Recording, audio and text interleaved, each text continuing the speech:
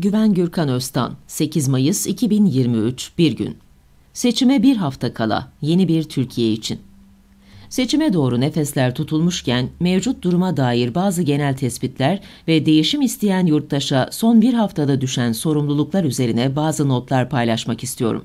14 Mayıs günü yalnızca ülkeyi 5 yıl kimlerin yöneteceğini seçmek için sandığa gitmiyoruz. Halkı rehin almaya çalışan demokrasi ve emek düşmanı bir rejimin akıbetini belirlemek için oyumuzu kullanıyoruz.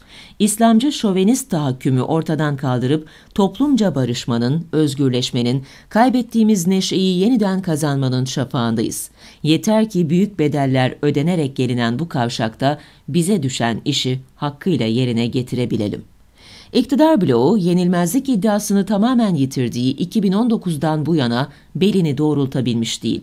Azalan gücünü zoraki müttefikler bularak telafi etme girişimi ise saraya güç kazandırmak yerine iktidar bloğu içinde yeni krizler yarattı.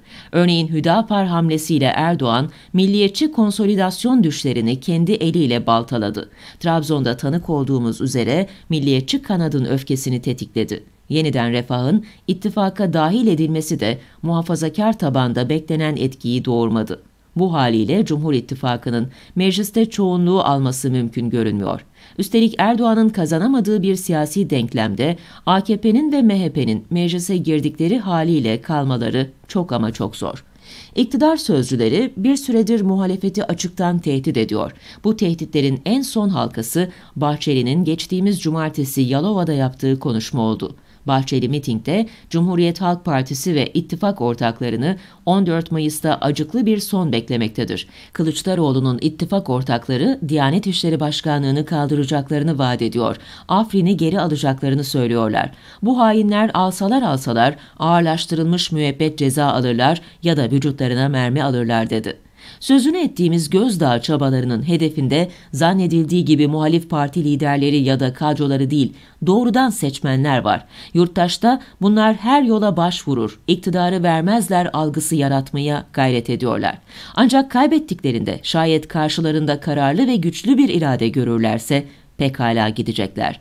O nedenle eforu panik yaratacak kaos senaryoları üretmek yerine değişim iradesini güçlendirmeye harcamak iyidir.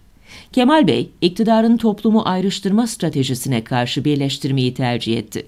Birbirine hiç benzemeyen liderler ve yurttaşlar aynı platformlarda sevgi sembolleriyle ve değişim iddiasıyla yan yana geldi. Eğer seçim nasıl bir siyasal rejim istediğimizle ilgili ise en genel ifadesiyle muhalif yurttaşları birbirine düşürecek ifadelerden kaçınmak bir zorunluluktur.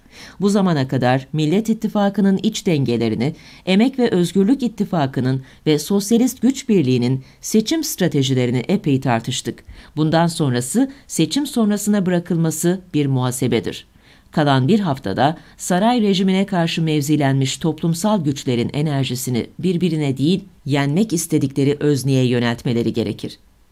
İnce'nin ve Oğan'ın adaylığının Cumhurbaşkanlığı seçiminin ilk turda bitmesini zora sokma ihtimali yatsınamaz. Fakat her iki ismin adaylığını mevcut durumda bir neden değil, bir sonuç olarak değerlendirmek mümkündür.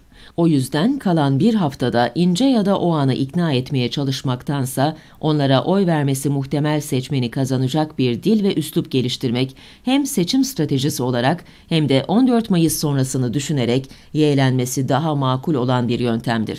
Zira ince ya da o anı destekleyenlerin hepsi olmasa bile çoğunluğu Erdoğan'ın temsil ettiği ideolojiye mesafeli konumdadır.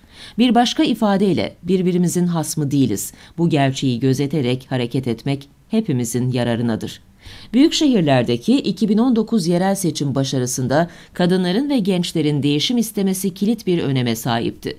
Bu seçimde de öyle olacak. AKP'den başka bir iktidar görmemiş, kendi geleceğinden kaygı duyan gençlerin ülkenin önümüzdeki 10 yıllarını şekillendirme imkanı var. İlk kez oy verecek gençlere bu seçimin aslında onların seçimi olduğunu arkadaşça ifade edelim. Gençlerin bir kısmının kafasının karışık olması kendi kabahatleri değil. O yüzden küstürmekten kaçınan bir tavırla onları dinleyelim. Sandık güvenliğinin sağlanması seçimin ikincil bir konusu olarak görülemez. Son yerel seçimlerde sandık kurullarında görevi hakkıyla yerine getirmenin nedenli önemli olduğunu birlikte deneyimledik. CHP başta olmak üzere muhalefetin sandıklara sahip çıkma sorumluluğu olduğu kadar yurttaş olarak bizlerin de oy verdiği sandığı takip etmesinin hem hakkı hem de görevi olduğunu hatırlayalım. Bir tek oyun boşa gitmesine müsaade etmeyelim. 14 Mayıs akşamında ve ertesinde sakin ama kararlı, barışçıl ama dirençli, sağduyulu ama cesaretli olmak büyük önem taşıyacak. Türkiye'de siyaset özneleriyle ve kurumlarıyla yeniden yapılanma sürecine girecek. Toplumsal dinamikler bu değişimin seyrini belirleyecek. Sonuç ne olursa olsun değişimin yönünün belirlenmesi mücadelesinde memleketinin cumhuriyetçilerinin, devrimcilerinin, ilericilerinin birbiriyle daha sıkı bağlar kurması, daha güçlü bir dayanışma örgütlemesi ve elini taşın altına koyması elzem olacak. Güven Gürkan Öztan